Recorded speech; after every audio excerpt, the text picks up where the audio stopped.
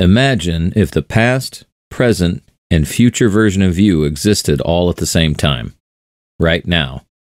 Could it be possible you are being born and passing away in this second of time?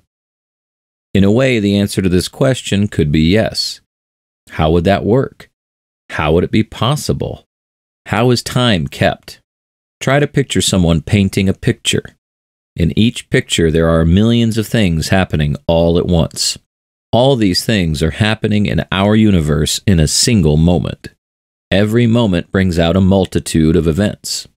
Galactic civilizations are expanding, people are being born, some people are passing away, and you are missing the bus. However, our artist of the universe creates a new image to replace the previous one. You obtain something that resembles a movie in this way. There is only this instance that exists. What came before is the past, and it has passed away. The future is yet unknown and has not yet been sketched. This is how time feels, isn't it? The previous moment always takes its place. The future is non existent, and the past is far behind us. What if time is something else, though? What if all the drawings have been completed by our artist of the universe and are piled on top of one another? In this manner, we have a block, a large chunk of time containing the eternity of the universe, every moment that has happened and will happen. Nevertheless, the past, present, and future are all equally real and present in this block and stack of moments. This doesn't seem right. The only things that seem genuine to us are those events that are just now taking place. In this moment, how are the past and the future real? The issue is that they sort of have to be in accordance with relativity theory.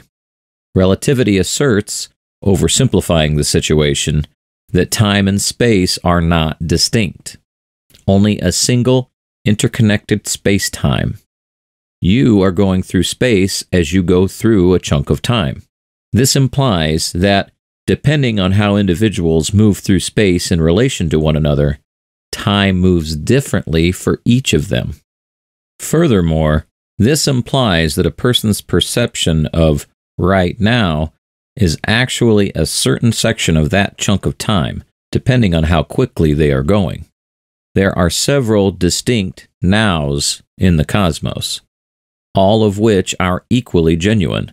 So, what you perceive to be now is actually just your own. There is no global past or future according to this as well.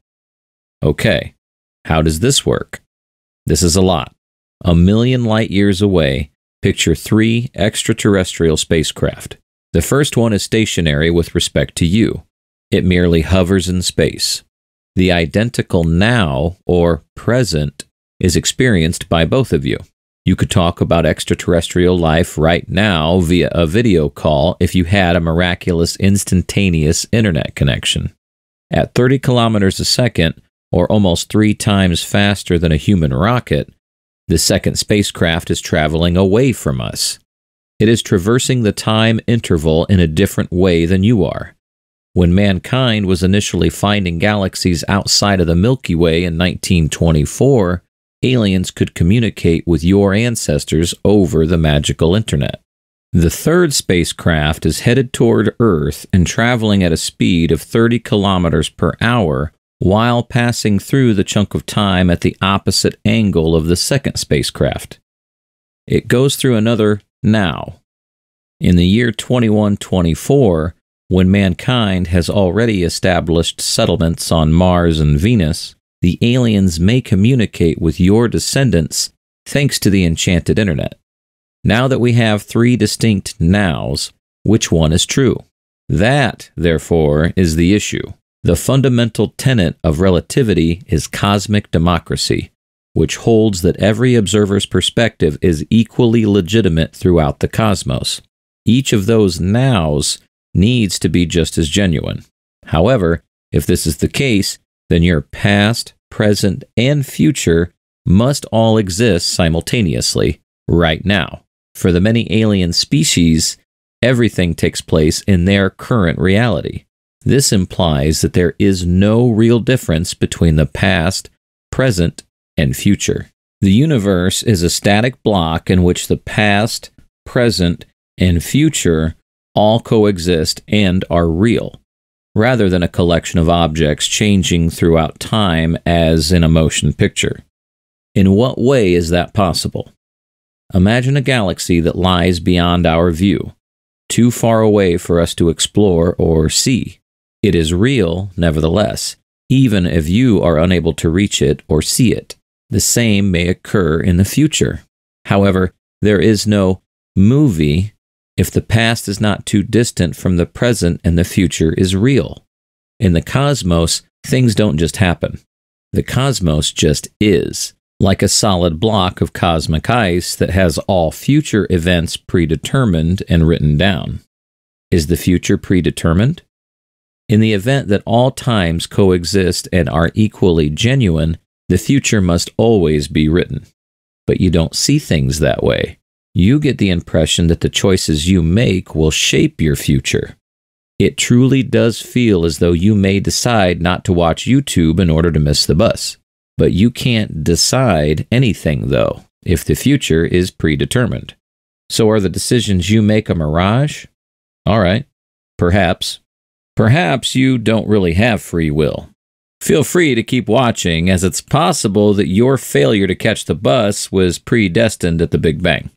However, the world can alter due to quantum particles. Suppose a neighboring mammal has a genetic mutation due to a radioactive material that decays at random. And then, many years later, that mutation produced an odd, incomprehensible hybrid of a duck and a mammal. Alternatively, the strange creature won't exist if the atom decays a day later. Future events cannot be predicted if quantum mechanics are truly unpredictable. However, the future cannot be real in the same sense as the past if it is an untold narrative. What transpires then when improbable events such as the atom's disintegration do occur? Is that the current moment? Is this the now? However, Prior to that, we saw that cosmic democracy precludes the definition of an absolute now.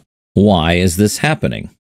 It turns out that the past, present, and future are always clearly defined for every single item, including you, aliens, and atoms.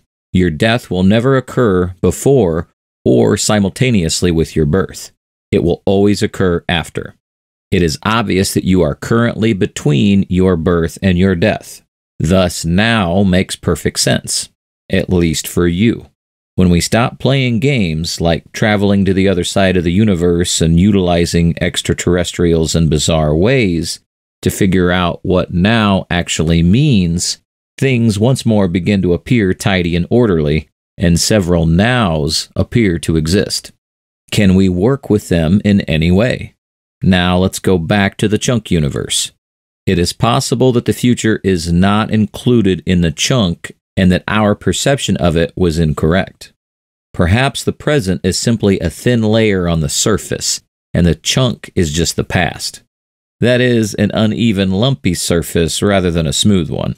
It has been created by uniting innumerable distinct nows that are equally real and legitimate and experienced by someone or something in the cosmos.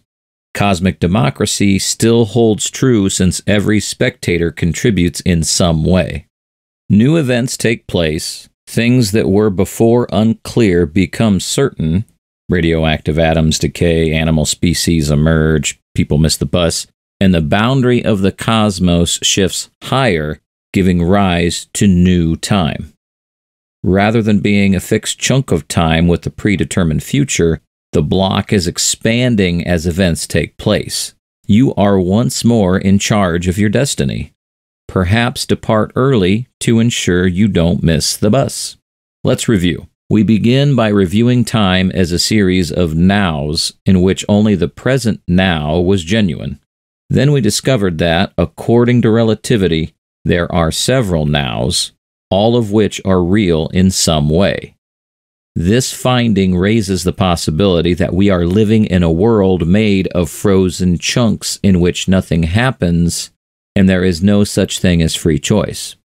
In the end, we had a world akin to a developing chunk of universe where time moves on and the future is wide open. Which is then accurate? What is actual? The time right now? The past? Do the dinosaurs exist today just as much as you do? What thoughts are there about all this among the aliens on the opposite side of the universe? Sincerely, nobody is aware. Although these are the two ways that we know now how to define time, there are more. According to some scientists, the concept of now solely applies to the immediate environment and has no bearing on the cosmos. Some believe that time is an illusion created by our minds and that time itself doesn't really exist.